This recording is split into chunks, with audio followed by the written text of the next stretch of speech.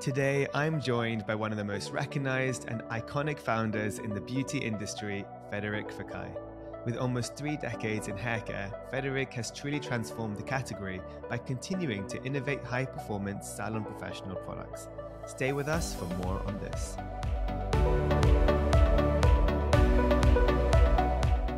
Hi, everyone, and welcome to Founded Beauty, a podcast dedicated to beauty entrepreneurs who built some of the biggest brands today and where we learn exactly how they did it. We'll cover some of the most intimate stories, their path to success, and how they overcame the obstacles along the way. I'm Akash Mehta, CEO and co founder of Fable and Mane, a modern hair wellness brand inspired by ancient Indian beauty secrets. Building Fable and Mane has been an incredible journey so far, and I decided to launch this podcast as a founder keen to learn and connect with fellow beauty brand founders around the world. I believe in collaboration over competition, and so I'm using this platform as a way to hopefully help and inspire each other in what can be quite a tough and lonely journey. So if you are an entrepreneur or simply just curious how to build a brand, this podcast is perfect for you. So without further ado, it's like to welcome our guest for today, Frederic Fekkai. He is one of the most acclaimed hairstylists and founders in the industry. And Frederic Fekkai has been shaping the global beauty landscape for almost three decades. From a salon owner to a celebrity hairstylist, working with the likes of Claudia Schiffer, Renee Zellweger, and Hillary Clinton, Frederic Fekkai became synonymous with luxurious hair care, launching his own collection of salon professional products in 1995. Since relaunching his brand in 2018, Frederic has continued his mission to evolve the hair care space with a renewed brand philosophy of clean without compromise. Prioritizing a sustainable future, Fekkai salons are green circle salons and recycle 95% of their beauty waste, while Frederic introduced the brand's green aerosol collection, the first planet friendly, non ozone depleting aerosol propellant. With a goal to further eliminate byproduct waste and carbon emissions, Fekkai is as restorative to the hair as the planet, and I couldn't be more excited to hear all about it from the founder himself. It's my absolute honor to have him with us. So, Frederic, thank you so much for being with us today. Well, thank you very much, Akash. What a nice introduction. I'm very flattered. Thank you. Well, thanks to you for doing such amazing stuff. It was hard for me to summarize it in a sentence or two. So I'm gonna I'm excited for the podcast because we can go deeper into the journey. But I want to start with my first question I ask all my guests. I'm gonna ask you, who in a nutshell is Frederic? You know, Frederic is a you know happened to be a I think a serial entrepreneur. Um, what does it mean?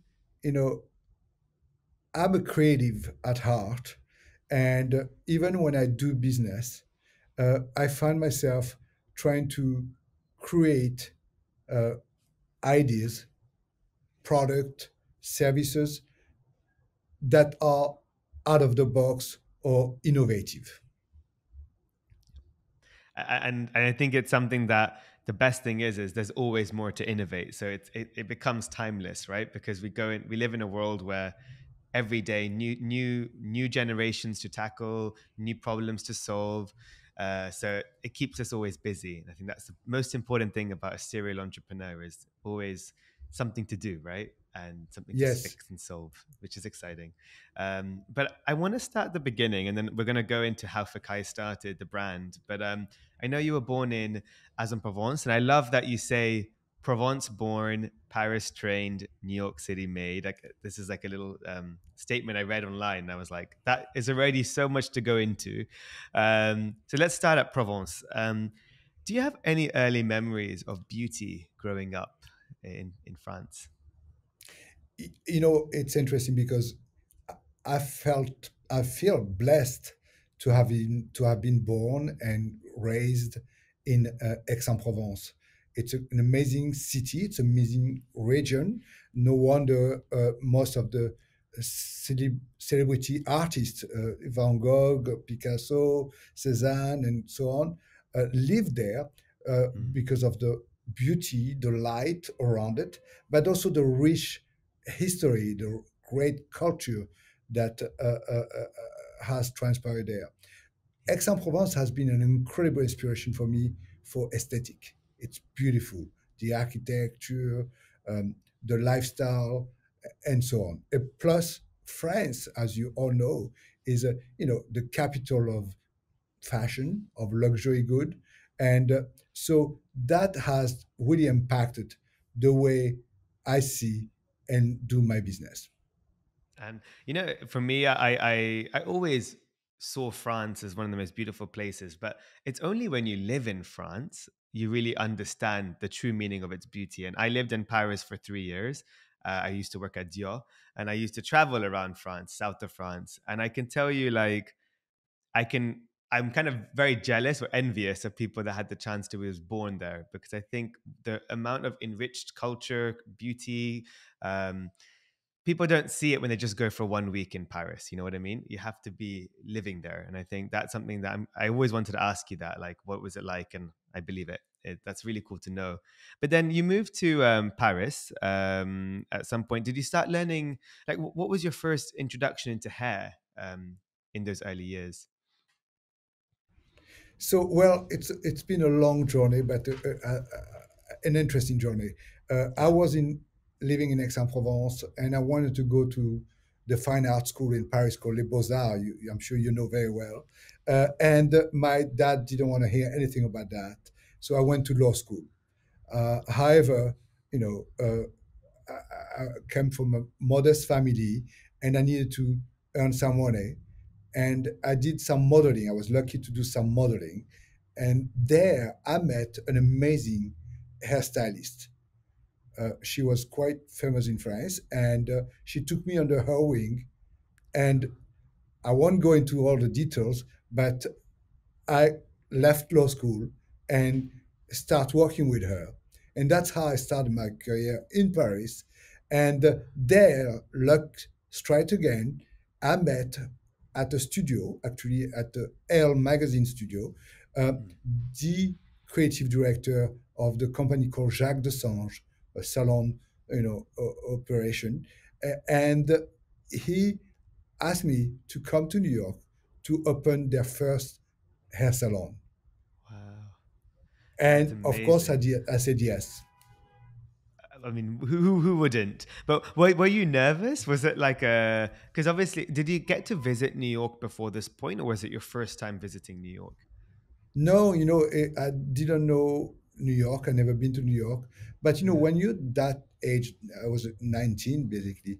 Uh, you know, I was excited. I mean, you know, you, you, when you're so young, you are daredevil. You know, I mean, you basically try it, and you don't have much to lose.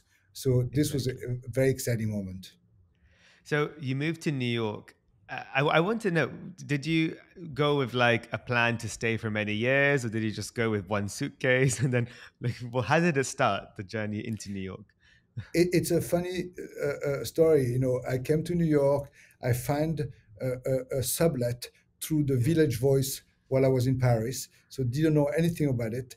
Uh, but I found myself living in the uh, Lower East Village on 14th Street, Avenue C, which was at the time, I mean, really sketchy. And uh, um, so uh, this, I didn't stay too long there. I moved obviously uptown and um, and then uh, you know uh, the salon was supposed to open, but ha- wasn't ready for another six to eight months, wow. and it was very difficult. New York is expensive, as you know, so I didn't know if I could stay or not. But uh, I found I, I met a, a, a, photographer that asked me to work on a shoot, and that helped me and uh, uh, really me introduced me to actually all the amazing magazines such as Vogue, Glamour, and etc. And that's how uh, I started my career to work as a studio and kept me in New York until the salon would open. Wow. Okay, so then the salon opened. So what was that like? Oh, did you did you cover like what parts of that I guess project and uh, did you work on? Was it 360? Was it on uh, so, so I, I was lucky to be actually a stylist that could work both in salon and in studio. So hmm. by doing both, uh, I was exposed obviously to uh, fashion, to beauty, but to models, supermodels, uh, celebrity, red carpet, and and then also work in the salon and translate uh, to uh, consumer, to customer, um, and that helped me to really build a, build a, a, a client list pretty fast, or, which was uh, uh, uh, amazing. So then, you know, you you got to work with some of the greatest um, people in the industry uh, and do their hair. Uh, I'm sure the, you then were working with a lot of different products, right? And then, was there a moment where you were like, "I know what these people want, but I think there's still a gap in the market for a brand that I can think about creating"? Uh, yeah, when when did that seed start? It was interesting, you know, back then, you know, this is the early 90s, um, mm. when uh, you looked at the healthcare landscape, you know, products were mostly commodities. And, you know, and the big players were, you know, the big corporation such as uh, uh, Unilever, uh, P&G, L'Oreal, and so on. And the, the products were mostly distributed in, in mass market. Uh, and uh, there was no so much innovation and then when I saw my customer, you know, and checked what they were, what their beauty routine was, I would find out that skincare was so innovative, so more sophisticated uh, than hair care. And that gave me the idea to go and develop formulas uh, with a skincare lab.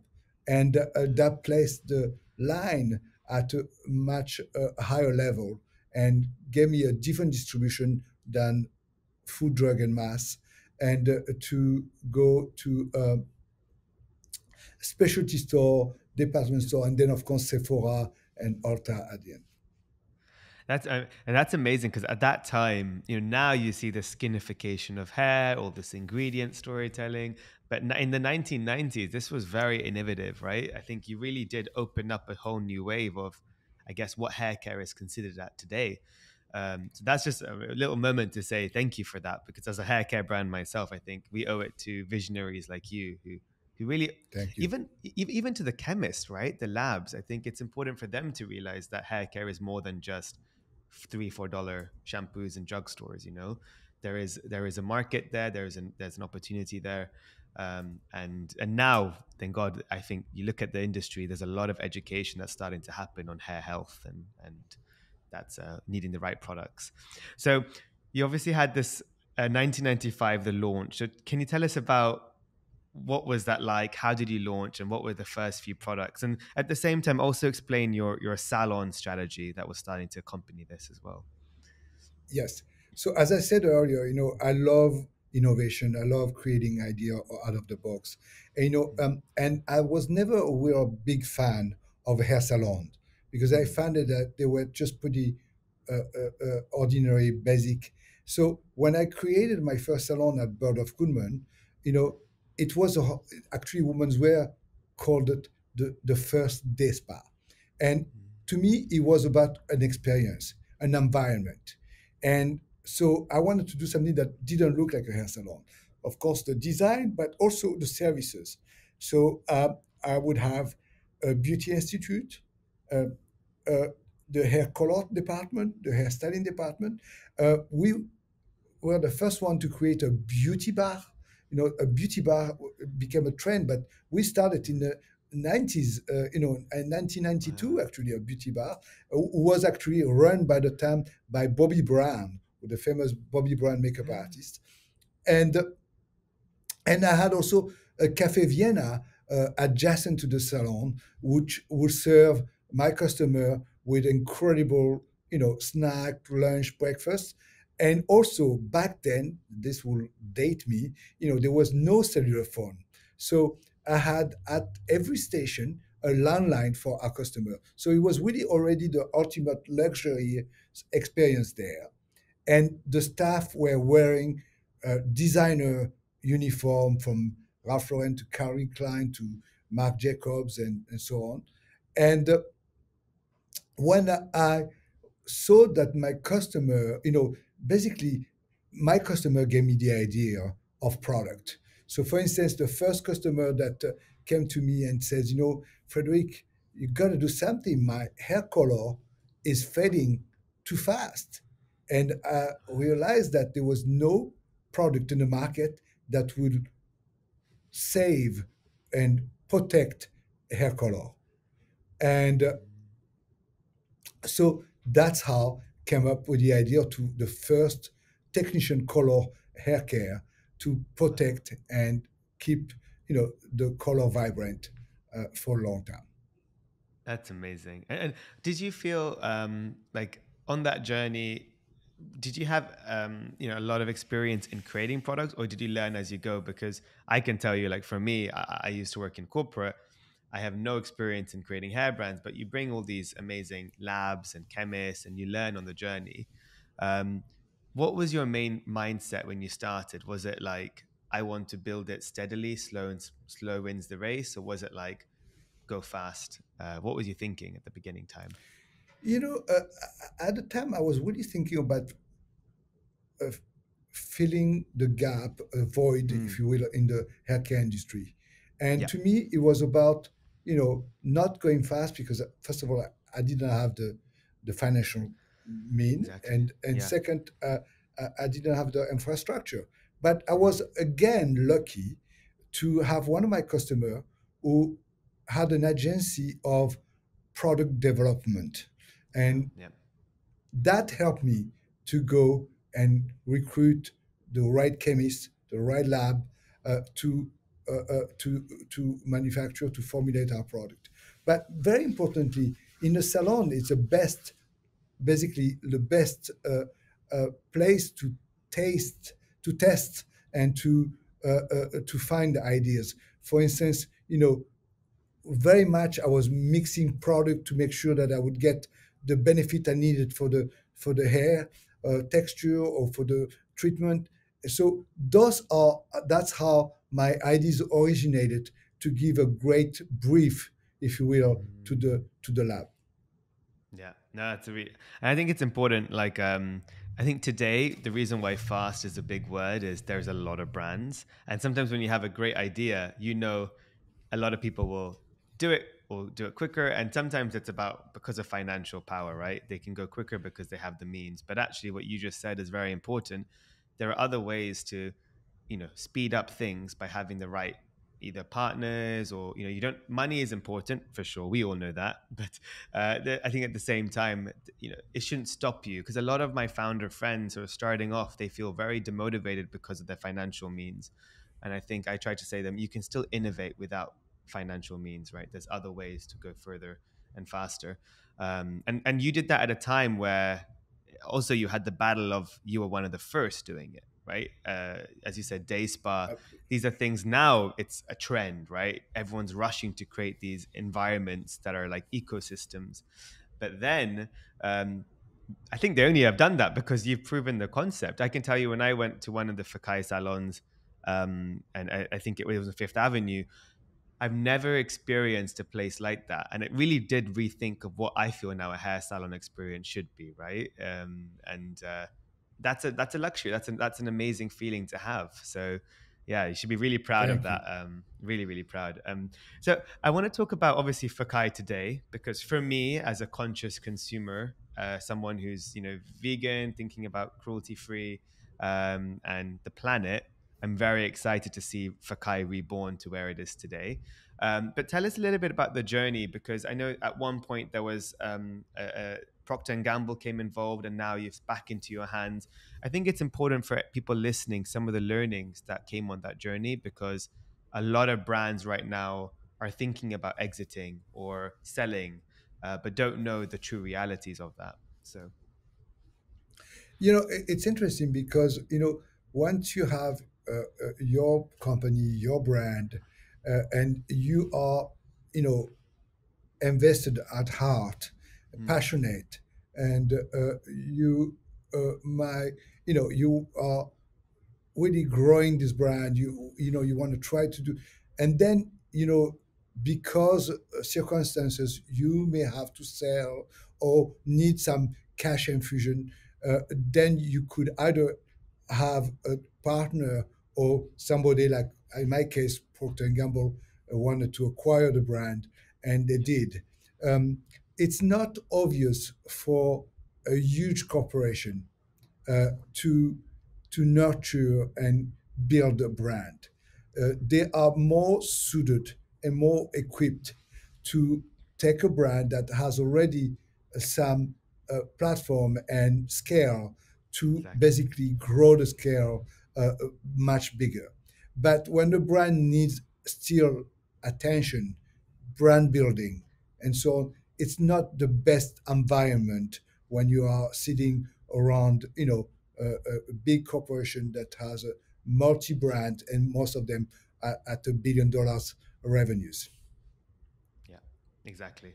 And I think it's a very important thing because uh, you have to think about what does the brand need just as much as you as the founder, right? And I think in those moments it can be hard. Uh, we've had, I mean, we're three years in Fable and Mane. and I've had conversations with some big conglomerates who who want a piece of the pie now, right? They come and they butter you up and they say, "Oh, give us a little bit now," and then you lock them in.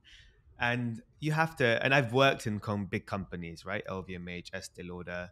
I know the game of these companies. It's it's really bottom line, top line. It's it's talking about what is it money making, and after there'll be a sudden day where if it's not making good enough money, they'll look at the numbers above the potential sometimes, and then they'll cut or they'll they'll strip. And it's a little bit risky when you come in a portfolio brands because someone is always going to be the priority and someone's going to be the least of the priority.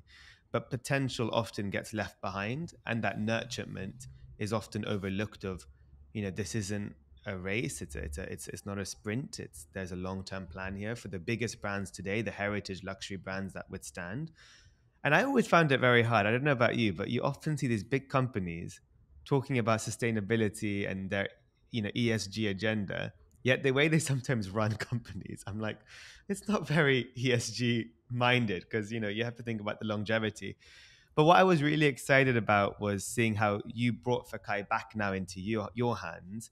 Um, kind of was one of the few examples in the industry where I was like, as a founder, I'm like, that's a really inspiring story. Like, there's always a way to boomerang back to you if you if it needs to be. It's not always goodbye. Um, and I think for me, that's something that I will think about when I my journey with Fable and Mane. So now it's back to you, and that's super exciting. So tell us about now Fekkai today and the, the mission of it. So uh, now that uh, uh, I bought back my namesake brand, you know, I wanted to make sure I came with a, a new idea and a relevant idea for the lifestyle we have today. Uh, yeah. So it's without saying that it had to be sustainable and it had to be formulated with clean ingredients, clean formula. So this is the mission I have today. But obviously, it's a challenge because you know uh, when you do that, you know you have to make sure that you still focus and um, propose to the consumer some performance and some performance formulas. So yeah. today, uh, you know, we are proud to say that uh, are you know we are driven to really create product that uh, obviously uh, have incredible benefit to the hair, yeah. whether it's a treating or styling, but also that will not harm the, the, the, the, the environment. So as I said earlier, I love to come up with idea out of the box, and uh, you know I'm very proud to say that was one of the first one to use green aerosol uh, based on sources as opposed to gas, so it doesn't deplete uh, deplete the ozone. And uh, and it's also for us hairstylists when you spray a lot, you don't sneeze, you don't get any allergy out of this. Um, so this is an example, but also most of our products are you know uh, uh, made with ingredients that are either organic or if we use a chemical, we use safe chemicals. Uh, so it's really about you know using science uh, uh, with the botanic Uh, and the uh, combination and the formulation together uh, becomes an incredible potent formula. So tell us about some of the hero products today. So for anyone listening, I'm going to put the link in the in the summary so people can go on the website at the same time. But what are some of your hero products that you think everyone should try? Obviously, it depends on the hair type, and you've got a perfect yes. find my yes. routine. You know, you can find on your website a little quiz as well. But yeah, for those listening, you know, uh, uh, uh, today, you know, and for a good reason, the full volume shampoo and uh, uh, conditioners are mm. the best sellers. Mm. But also, the amazing product called the Glossy Cream Plus, who is universal. So you could use it uh, uh, and somebody with curly hair can use it. Somebody with long hair can use it. Somebody with a highlight can you use it. Uh, so mm-hmm. it's it's really for everybody. And what does it do? It's a product that basically refreshes the hair. So it gives, and this is what American loves it so much because it's v- visible inst- instantly. So you see instantly the the benefit and the difference on your hair.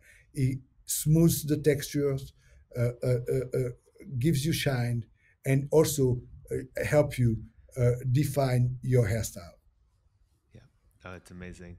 And I love the fact that you've got a lot of information on the website from your ingredients to how to use. It's making the journey very easy for the modern consumer because we live in a very fast world. And I'm curious for you, who spent a lot of time in the chair, you know, with people in salons, to now having to switch a lot of the marketing to you know tiktok three seconds social media how has that been like for you uh, like obviously you have to embrace it. It's the today it's the new normal but uh, it can be quite overwhelming right? A lot of different yeah. It is. And you know it's obviously a learning curve you know uh, and you have to surround yourself with a, a, a, a great team that really understand that uh, yeah. and really uh, uh, not only knows how to publish, but also study the, the, the, the, the diagnostic, the, the metrics of what is the return on investment on that. Um, yeah. I, I think today, you know, it's actually if you do that well, it's really great because that's how you basically present, articulate uh, the brand. And to me, what is exciting, uh, you know, of course, I'm in the business of selling product, and that's without saying. But what I really think will trigger the sales is because you know you you demonstrate, you show, you present your brand in such a way that is uh, uh, uh, that is uh, uh, desirable, uh, valuable, and trustable that's very very important.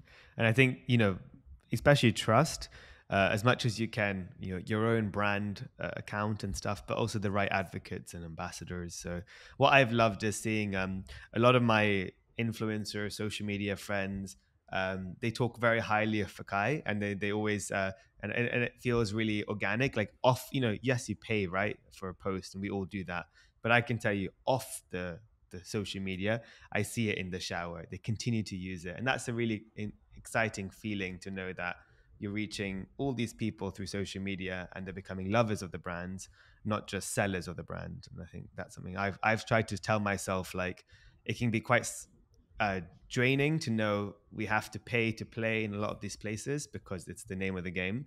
But generally, you know, they, when they love it, that's worth it as well. Like it's like, okay, I know you need money. Here's money, but at the same time, I'm glad you're using it. That's the most important. You know, that's that's it's not put on the side in a box somewhere. You know, so that's Absolutely. exciting. I think. Um, so in terms of now the future of Fekkai and uh, you know, I guess more products. What, what, are you what are you planning on the horizon? Well, the future of Fekkai is, is really based on you know obviously innovation, new product development as well, but yeah. you know also making sure that you know growing the brand, building the brand awareness.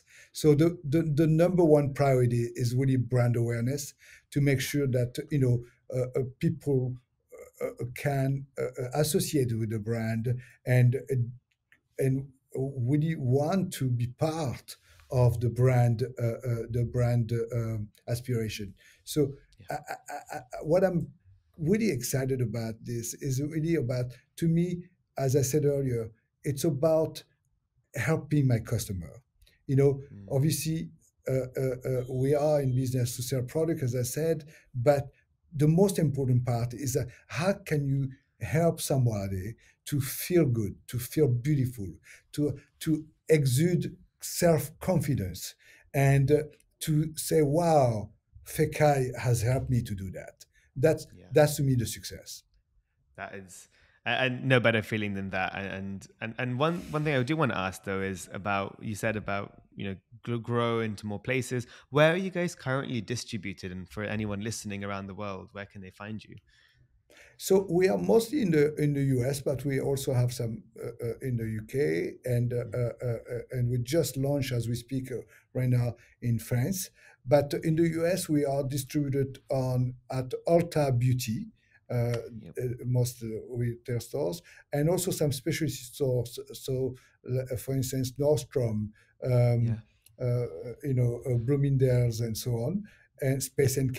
you know that in the, in the UK. Uh, and also our D2C. So I'm really uh, uh, delighted to say that our D2C is growing ex- exponentially great, and that is that is important. That is very important, and and I think it's important to make sure. You, you have that direct relationship with your customers so when they Absolutely. feedback you know you can help with product development and uh, changing and growing as a brand uh, and get closer to them so that's a very important fact.